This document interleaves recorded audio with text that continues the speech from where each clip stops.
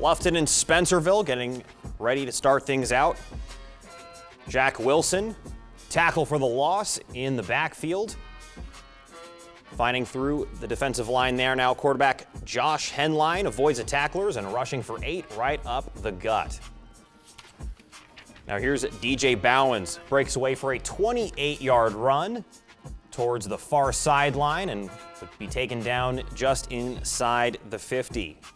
Now the D-line of Bluffton stopping Spencerville for no gain. Both defenses played pretty well for the first half. Spencerville stopping on fourth down, turnover on downs. Now the Bluffton offense can't get anything going. They lose yards here, and they would punt on that drive. And here's DJ Bowens with another carry for eight yards, makes a move and down after a gain of nine. Here's Bowens again on the ground. If it's not broke, don't fix it. 14 more yards on the ground. And they would take a knee after that. 35 0 Spencerville over Bluffton. Joel Lott, 15 carries, 130 yards and two scores, while Eli Hayter had two catches, 84 yards and two touchdowns. His yards per catch, pretty high in that game.